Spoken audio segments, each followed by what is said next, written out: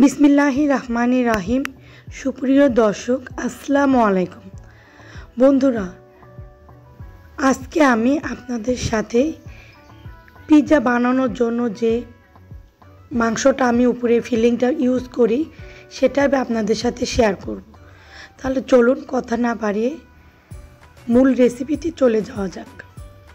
এর জন্য আমি গরুর মাংস পরিষ্কার করে ধুয়ে নিয়ে কিউব করে ছোট ছোট করে কেটে নিয়েছি। দেখুন কীভাবে আমি কেটে নিয়েছি। এখন আমি চুলায় একটি প্যান বসিয়ে দিয়েছি। আর প্যান দিয়ে যে বাসায় রেগুলার সয়াবিন তেলটা আমি ইউজ করলাম এখানে, সেটা আমি পরিমাণ মতো দিয়ে দিয়েছি। আর এখানে আমি পেঁয়াজ কুচিটা দিয়ে দিচ্ছি। এখানে আমি পেঁয়াজ কুচিটা একটু পরিমাণে বেশি দিয়েছি। আপনারা যে যার পছন্দ মতো পরিমাণটা বাড়িয়ে বা কমিয়ে নিতে পারেন। পেঁয়াজের কালারটা যখন ব্রাউন কালার হয়ে আসবে, তখন আমি যে অতিরিক্ত মশলাগুলো, সেগুলো অ্যাড করে দিব। এর জন্য এখন আমি হলুদের গুঁড়া দিয়ে দিচ্ছি পরিমাণ মতো, আন্দাজ মতো লবণ দিয়ে দিচ্ছি,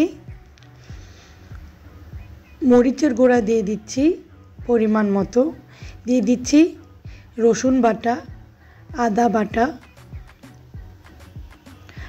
আদা বাটা, রসুন বাটাটা একটু পরিমাণে বেশি দিয়ে দিয়েছি। এখন আমি মশলাটা কষানোর জন্য পানি দিয়ে দিচ্ছি। আর আমার রেসিপিগুলো যদি আপনাদের কাছে ভালো লেগে থাকে, অবশ্যই আমাকে উৎসাহিত করতে আমার ভিডিওটি একটি মাত্র লাইক দিবেন। আর আমি এখানে গরম মশলা যতগুলো রকমের আছে, সাদা আলাদা দারুচিনি, মৌরি থেকে শুরু করে দশ পনেরো রকমের মশলাগুলো আমি এখানে বাসায় তৈরি করে নিয়েছি হোমমেড মাংসর জন্য। সেটা আমি আপনাদের সাথে কোনো এক রেসিপিতে শেয়ার করব, কীভাবে হোমমেড মশলা তৈরি করতে হয় গরুর মাংসর জন্য। আর এখন মশলাটা প্রায় কষানো হয়ে গিয়েছে। এখন আমি গরুর মাংস যে কিউব করে কেটে নিয়েছি, সেটা দিয়ে দিচ্ছি। দিয়ে ভালোভাবে মশলার সাথে মিশিয়ে নিয়ে নাড়াচাড়া করে দিব। অল্প আছে রান্না করব। আমি এখানে অতিরিক্ত যে মাংস সিদ্ধ হওয়ার জন্য পানি সেটা ইউজ করব না। কেননা আমি এটা অল্প আছে মাংসটা রান্না করব। আর ঢেকে ঢেকে অল্প আছে রান্না করব তাহলে মাংসর যে টেস্ট সেটা কিন্তু অনেক বেশি হয়। সেজন্য আমি মাংসতে কোনো রকম পানি ইউজ করব না।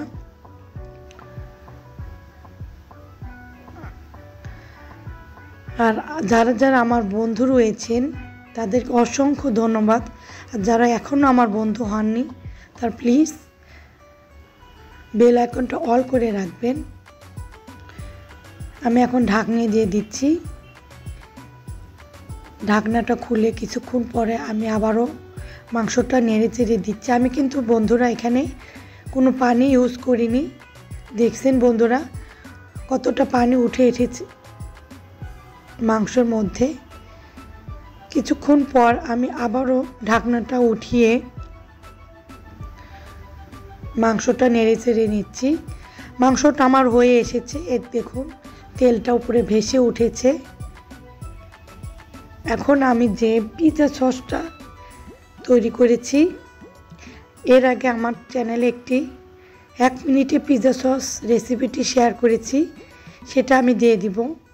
আর আমি এগুলো আজকে কোনোটাই পরিমাণ মতো দিইনি, সবগুলো নিজের পছন্দ মতো আন্দাজ অনুযায়ী বাড়িয়ে দিয়েছি বা কমিয়ে দিয়েছি।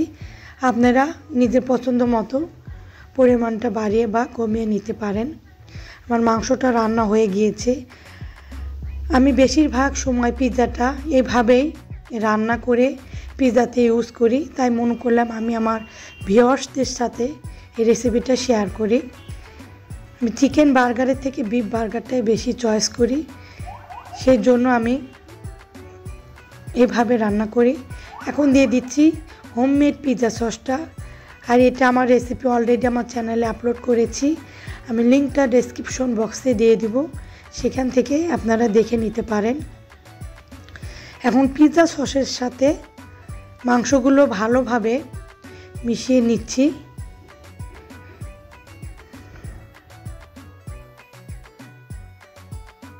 আর আমার রেসিপিগুলো যদি আপনাদের কাছে ভালো লেগে থাকে, অবশ্যই আমার সাথে বন্ধু করে নেবেন। কেননা আমার চ্যানেলে সব রকমের আইটেমই পাবেন।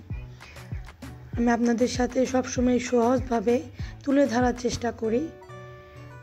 আর বিন্দুমাত্র যদি উপকারী মনে করে থাকেন, অবশ্যই আমার চ্যানেলটি সাবস্ক্রাইব করে পাশেই থাকবেন। বেল আইকনটা অবশ্যই অল করে রাখবেন। তাহলে আমি যখনই কোনো ভিডিও আপলোড দিব সাথে সাথে নোটিফিকেশন পেয়ে যাবেন। তো সবাই ভালো থাকবেন, সুস্থ থাকবেন, আমার জন্য দোয়া করবেন। আমার একটু গলার সমস্যা, তাই মাঝে মাঝে আমি একটু ভয়েস দিতে পারি না। মাংসটা যখন ঠান্ডা হয়ে আসবে, তখন আমি এগুলো বক্সে করে করে ডিপ ফ্রিজে রেখে দিব। যখন আমার পিৎজা বানাবো, এক বক্স বের করে আমি পিৎজাটা তৈরি করে নিব। সেজন্য আমি বেশি করে রান্না করে নিয়েছি। এখান থেকে আমার তিন, চার, পাঁচটার মতন পিৎজা বানাবো। প্রতিদিন তো এইভাবে রান্না করা সম্ভব হয় না। আর আমার বাসায় সবসময় পিৎজাটা থাকে, যার কারণে আমি একবারে বেশি করে রান্না করে রেখে দিই। তারপর আমি একটা একটা করে পিৎজা তৈরি করে আমার বেবিদের আমার ফ্যামিলি মেম্বারদের সাথে সার্ভ করি। পিৎজাটা মাংস ঠান্ডাও হয়ে গিয়েছে। এখন আমি এগুলো ডিপ ফ্রিজে রেখে দিব। আমার জন্য সবাই দোয়া করবেন, আমার ফ্যামিলি মেম্বারদের জন্য সবাই দোয়া করবেন। আজকের মতন আমি এখানেই বিদায় নিয়ে নিচ্ছি। পরবর্তী রেসিপি দেখার আমন্ত্রণ জানিয়ে বিদায় নিচ্ছি। সবাই ভালো থাকবেন, সুস্থ থাকবেন পাচক নামাজ পড়বেন আর সামনে রমজানের জন্য নিজেকে পরিশুদ্ধ করে নেবেন, নিজের আমল দিয়ে। আসসালামু আলাইকুম রহমতুল্লাহ। আল্লাহ হাফেজ।